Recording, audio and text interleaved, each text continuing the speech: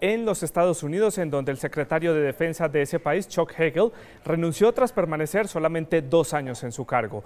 Lo hace en un momento crucial para el país que busca acabar con la amenaza terrorista de Estado Islámico y en medio de filtraciones que aseguran que el propio presidente Barack Obama fue quien le pidió su dimisión del cargo.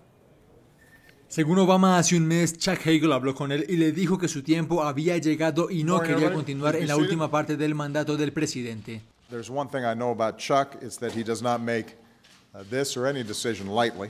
Uh, this decision does not come easily to him, but I consider myself extraordinarily lucky to have had him by my side for two years. Ambos se conocen desde hace 10 años cuando los dos formaban parte de la Comisión de Exteriores del Senado. Su negativa a la guerra de Irak fue uno de los elementos que los unió e hizo que asumiera el cargo en febrero de 2013. Sin embargo, el New York Times afirma que lejos de esa buena relación de en ese entonces, ahora fue el propio presidente el que le pidió que dejara el cargo para así cambiar su política ante la amenaza del autoproclamado Estado Islámico. Estas presuntas discrepancias no se vieron en la rueda de prensa de Hegel, que seguirá en el cargo hasta que el Senado nombre a un sucesor. the greatest privilege of my life to lead and most important, to serve, to serve with the men and women of the Defense Department and support their families.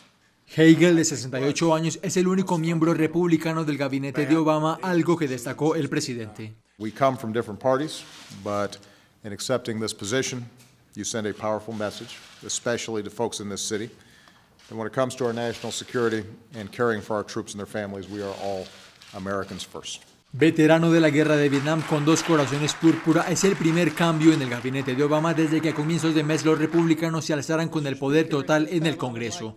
Esta formación tendrá una gran influencia de cara a elegir a su sucesor. Suena Michelle Flournoy, antigua subsecretaria de Defensa y que de llegar al cargo sería la primera mujer en hacerlo.